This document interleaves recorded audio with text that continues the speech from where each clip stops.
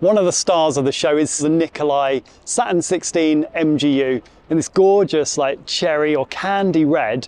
Now, this bike, I've done a whole video on this bike already. I've ordered one and I cannot wait to get it, but it's been great to see it here at Eurobike and it's actually got some updates with the Pinion MGU that I'll cover. A quick overview of the bike. It's a 160 160 enduro bike, full aluminium with the Pinion MGU, the motor gearbox, all in one belt drive, no cassette, no derailleur, nothing to get smashed off. It is so neat and it works beautifully well. I spent a weekend in Finale Ligure riding a test version of this and I was so impressed. I absolutely loved it. I actually think these drive units with the all-in-one motor gearbox unit combined is an absolute game changer.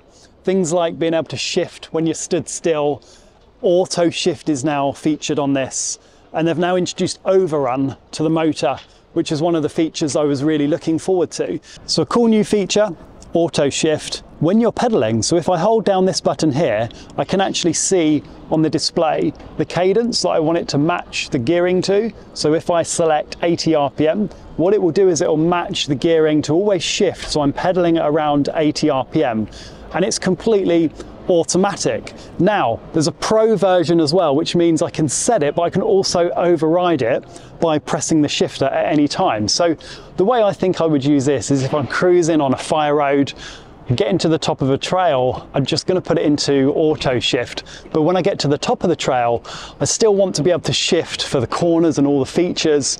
And this allows me to because I've got the uh, ability to override the automatic shifting, which is really cool. But I guess one of the biggest features they've introduced, and maybe a buzzword for lots of e-bike systems at the moment, is overrun. What that means is when I've stopped pedaling, the bike will continue to propel me forward for a short period of time, which is really critical for getting up techie climbs like enduro stages, the power stages for the EWS. You really need that overrun to help use the bike's momentum to get you up and over features. So this 2025 MGU update has that now kind of built into the motor. And that's one of the things I love about e-bikes. They keep getting better. Every six months or so, or one year, they come with pretty significant updates. So the Nicolai Saturn 16 MGU is a standout bike for 24, 25.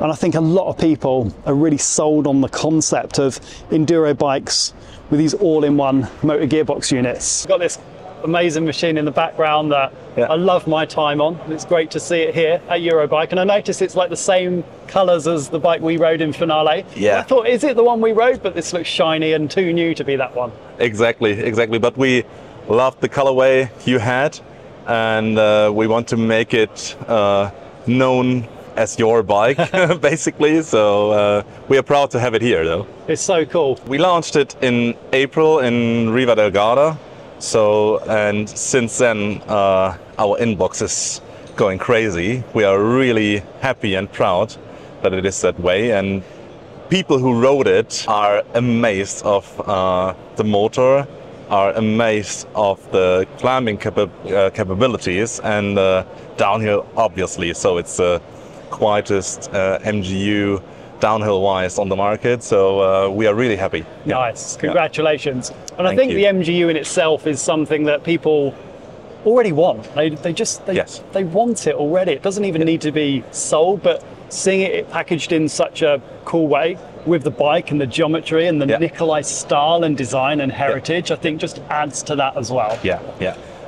You know, we are aiming to have a gearbox bikes bike since like forever. So Nicolai is there since um, the mid 90s, and we invented a gearbox bike, uh, a push bike in like end of the 90s, and uh, since we started with electric mountain bikes like seven, eight years ago, we are uh, doing uh, Gates carbon drive, belt drive, uh, in combination with a, a gear hub uh, so this is the perfect solution finally uh, for us. So all of that time we've been building up to, yeah. to something like yes. this. Yes. What what I got to say is you've got one of the coolest looking stands of just showing how your bike is produced. What this is the you got the raw metal, the raw aluminium yeah. down here. Try yeah. to pick up that block. It's quite uh, heavy. Yeah, I tried to. It's 7.8 kilograms. Yeah.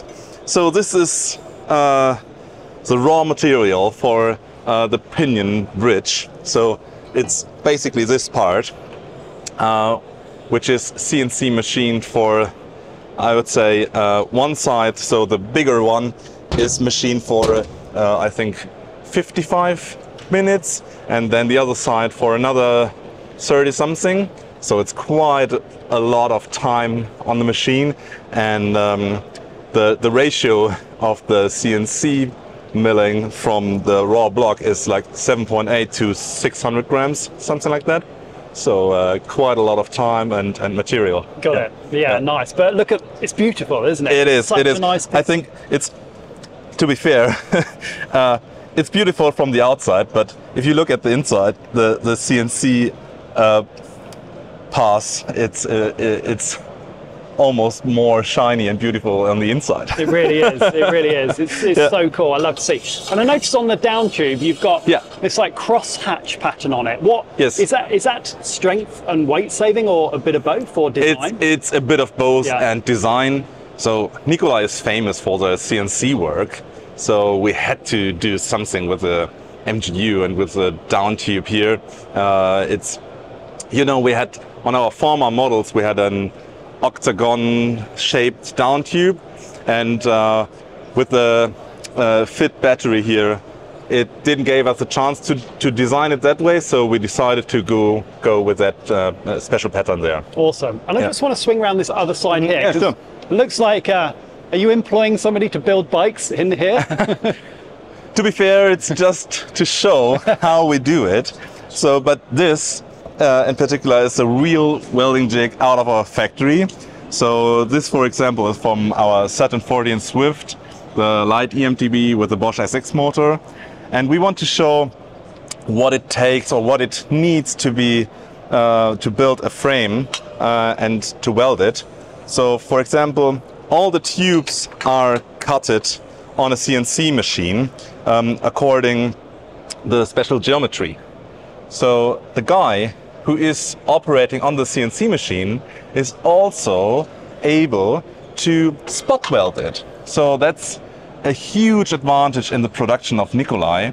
Um, just uh, like I would say five years ago, a welder uh, had to take every tube out of the box, which was already cutted, and put it in the welding jig.